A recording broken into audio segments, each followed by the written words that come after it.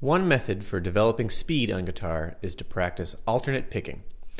Alternate picking is a technique where the picking hand attacks notes in a repetitive down-up pattern. In example 1, I will show you how to alternate pick eighth notes at 100 beats per minute.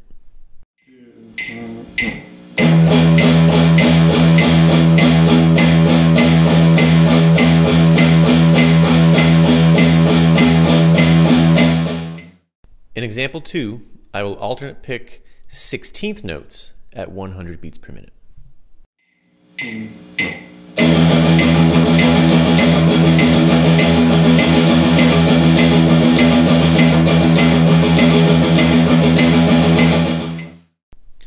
Example 3 involves the fretting hand.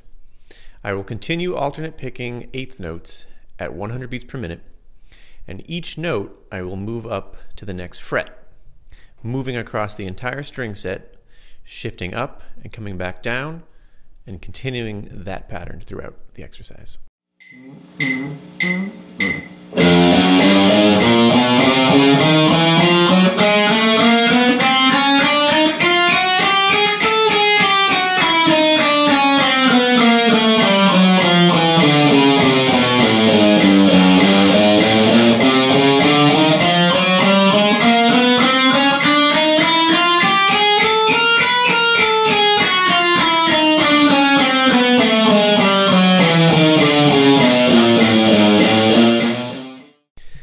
Finally, in example 4, I will play the same exercise in example 3.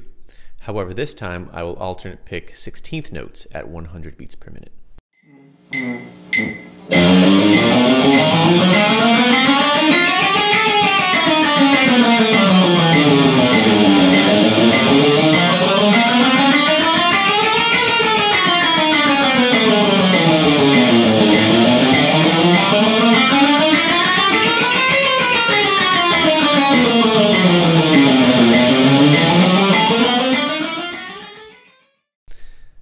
Keep practicing these exercises, gradually increasing the tempo every time, and you'll be on your way to playing faster in no time.